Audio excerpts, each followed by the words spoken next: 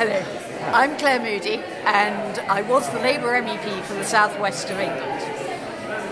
The way that we measure our economy now is blatantly not functioning for what we are facing with this climate emergency.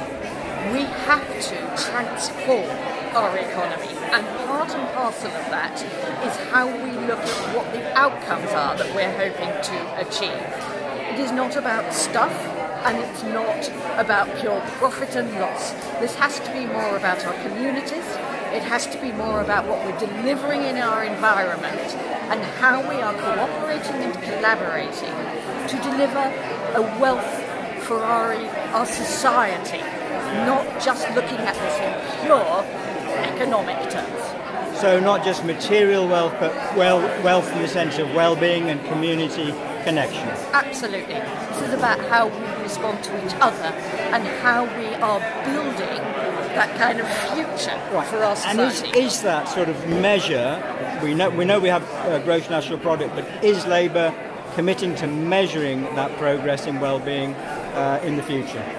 Yes, it, ha- it is absolutely going to be part of our transformative agenda that we look at how we can actually have measures that work for the problems that we're facing now. And it's blatantly obvious that kind of stuff measures that we're dealing with don't function.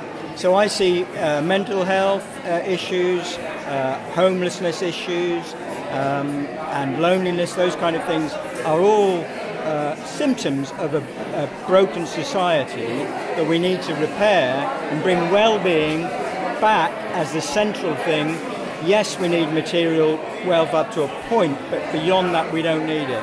That's what you're saying. I am saying we need to change utterly the frame of the debate. We have had nine years now of austerity measures that have sucked the notion of society and community out of our country.